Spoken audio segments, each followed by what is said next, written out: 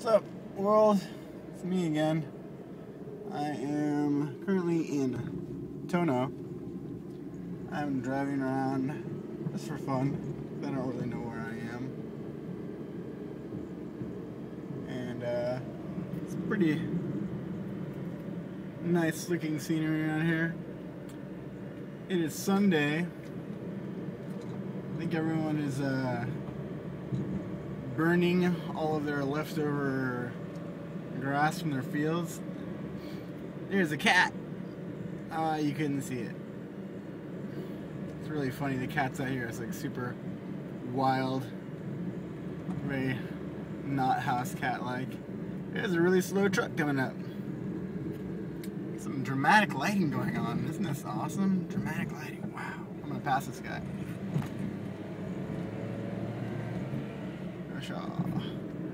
Past that guy. So yeah, dramatic lighting. Um,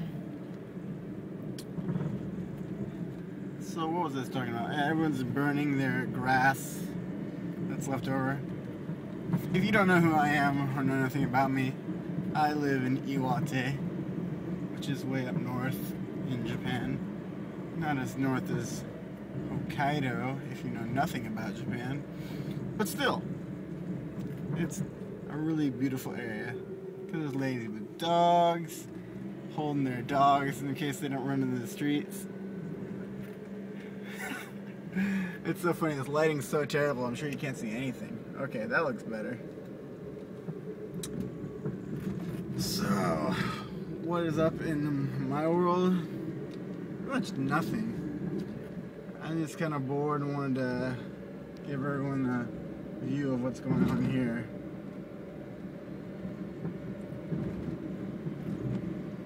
So I'm probably going to do some editing because this is uh, not incredibly interesting. Um,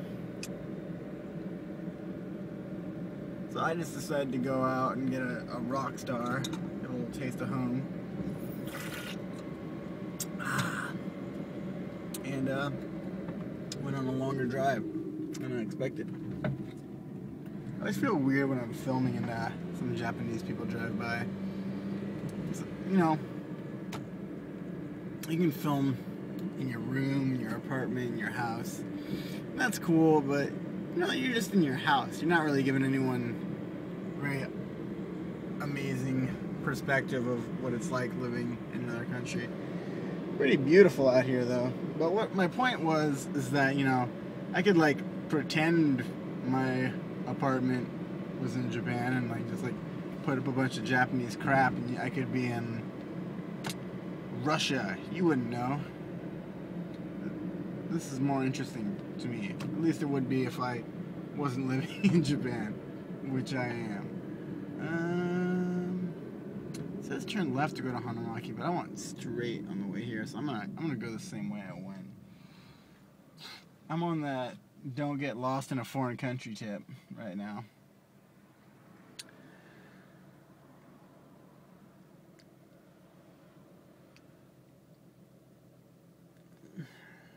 It's really funny, like uh, if you're living in a in Japan, and especially if you're living like way out in the country, like I am. If you see like a someone who you think can speak English, kind of get excited. You're like a you're like a dog on a walk that sees another dog, and you're like, "Oh my gosh, you're a dog!" And you want to go up and talk to them, but it's really stupid because you don't know how long they've been here for. They're totally over it. Uh, number of factors. Today I was uh, at my favorite bakery, Michelle, and I saw, you know, some white dude. And I was like halfway tempted to go and talk to them. And I didn't because it's just weird. It's just weird. So, I had a bad experience the last time I uh, ran into a foreigner. I don't know if I talked about this in my last video. I was in I was in Sendai, and there was this girl in the line at Starbucks. She came up behind me, you know. It's not like I like tapped her on the shoulder walking down the street. Like she was behind me in line in Starbucks, and I said, "Hey, how's it going?" you know, I guess you know she's from Sendai, which means uh, she's got a lot more chances to speak English. I don't. I really don't. So it's stimulating. I mean, sure, uh, my Japanese has improved by living out in the country. Check out, check out Grandpa riding his bike heck slow. Oh, you can't see anything. This glare is out of control. These people are like, they're gonna kill me. People driving towards me. Anyways, it's stimulating learning Japanese, but at the same time, when you do see someone who speaks English, you know, you want to say hi. At least I do. You can give me some feedback about that, what you think. So, that was my day. I went home and, uh, I went and bought some more books to study kanji at Tsutaya. I used to be better at kanji when I was, you know, in college and studying it on a regular basis. Um, and even though I work in Japan, my job is to basically deal with English speaking uh, other countries. I was just trying to stop for a guy, and he, he wasn't having it. Was, I'll wait for you You freaking guy, Gene. I won't take any pity or anything. Look at Hanabata. Yay! Everything's pretty and lit up. God, this is some really good footage. Really good footage. Um. So yeah. And I was thinking about when I was at Tsutaya that you know, I could continue studying from my textbooks that I bought in America when I was in college, which I do, I review from those. Or I could buy Kokugo books, which are just, you know, language books for Japanese students. Look at all these kids having a good time. What are they doing? Awesome. So, I was thinking about the pros and cons of that, and uh, you know, cons could possibly be that uh, it would be more time consuming to learn from a Kokugo book, but I'm learning the same way someone in Japan would learn, which kind of makes sense to me. I don't know. Does that make sense to everyone else? See, you know, you learn from a foreign textbook foreign by like I mean like an English, a book written in English teaching Japanese, and you can get pretty far, but there's certain conversational and cultural context that I don't think you're gonna get from those type of books. Cause I don't know, I've been been in Japan not very long. I'm not gonna be claiming I'm on that Oyaji tip, because I'm not. Uh, but you learn stuff that you don't learn from textbooks really fast. I don't, you know, and of course I don't have any awesome examples of that right now. Uh, but, anyways. So that's what I've been up to. Just decided to go on a drive and film a little bit. I didn't decide to film, but I was like, hey, I got my camera. I'm driving around. I'm sure somebody who maybe lives somewhere else or in another part of Japan would want to see what it's like in the lovely countryside of Iwate Prefecture. And indeed, it is nice. The people are really nice. You know what's really funny is like, you know, I can say that people are nice. When I was in Tokyo for the few, like, week I was there, people are really nice too. Like, the first time I was there, I had like a, a phone number to call my boss, and uh, I had to use a payphone. Ah, if you see my other video of me returning, you know about that. And it was really easy. I had a really easy time because I asked some other, uh, maybe a 55, 60 year old guys to help me dial on the phone. And I did, and then I drank some beer with them. And they were total strangers, and it was awesome. Everyone's burning stuff everywhere. That, that's, it's a cool thing to do. And Iwate is to gather up some grass and burn it. That is the, the, the cool thing.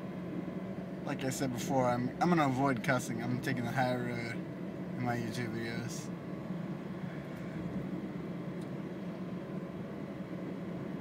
So what else is going on? What else is happening? Oh, the Olympics. The Olympics are happening in Japan, and you know what? What's really interesting about the Olympics in Japan is if there are not any Japanese people competing in an event, there's pretty much no coverage. And if a Japanese person loses an event, they pretty much stop covering it, which I find really weird. Like, cause uh, I like judo. I do judo. Um, and the other night, uh, I was watching, and uh, what's his name? Ah, I'm gonna sound really stupid right now. Is, is, it, is it Ogawa? I think it was Ogawa. He he lost, and he's in the same weight division as France's Teddy Riner. Probably one of the best judo players ever, honestly, Teddy Riner. As much as it pains me to say it. Uh, because I don't know whether it's because he's gigantic or he's really good. He's really good. But anyways, after friend, uh, after Japan's competitor lost, they stopped showing. They stopped showing judo, and I find that really interesting because it's a Japanese sport, and they're like, "No, we're done," and uh, so you didn't get to see the gold, the, the gold match, like the, the the match for the gold medal for judo in Japan. It was not televised. So very interesting. Uh, in terms of uh, Olympic judo in Japan, this is the first year that Japan has not won a gold in the men's. They won a gold in females with Matsumoto, and she was awesome. But it's the first time ever that men's did not take home a gold, and uh, too bad. Uh, a lot of people that uh, I know here have said that uh, you know judo's been on the decline in terms of popularity in Japan, and uh, they said that that's that's probably going to hurt it. So, too bad. So I am pulling up to Shin Hanamaki Eki, which is the Shinkansen station for Hanamaki. There's also standard Hanamaki Eki, and it's not really called standard Hanamaki. Standard Hanamaki Eki. It is just called Hanamaki Eki, and that is because that was there before Shinkansen. So there's two train stations, and you know this is only Shinkansen. The other one is like if you want to take a slow train from here to Morioka or somewhere else pretty close, which takes a lot longer but is cheaper. If you want to pretend you're in the 60s on a cool classic Japanese movie, that's the train for you.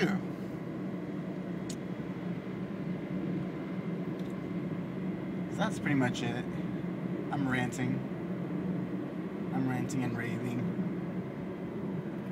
Uh, I went to some used shops today because I wanted to, you know, buy some stuff.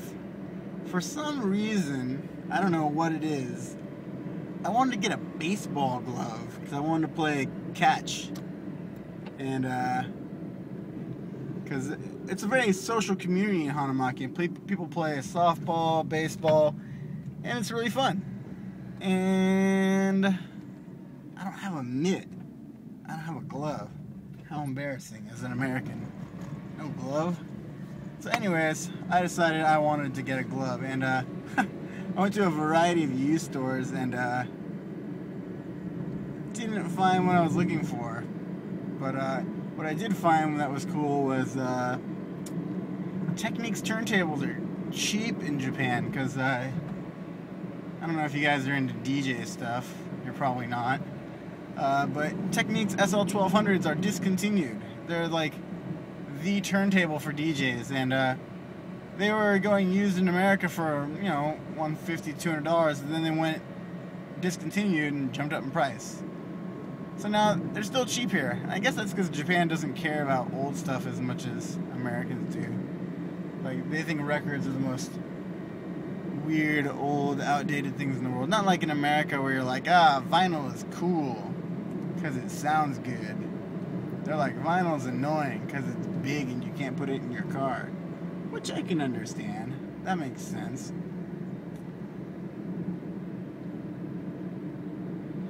So, I've got maybe 40 subscribers on YouTube now.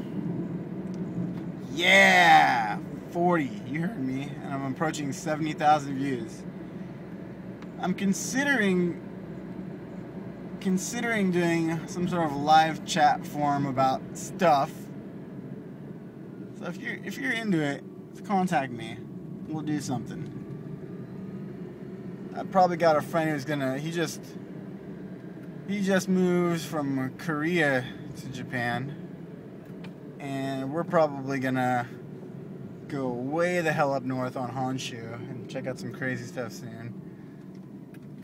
And, uh, but you know, that's not what I'm talking about. I'm talking about forums and stuff and like a live chat thing. Alright, so I am closing back into my home territory. There's trees. Yeah, nature. God, it's hot. I guess that's it. That's enough of me mumbling and I've got some complaints that I mumble in some of my other videos, which uh, I'm sorry if I mumble. I will try to enunciate my words more clearly. See, uh,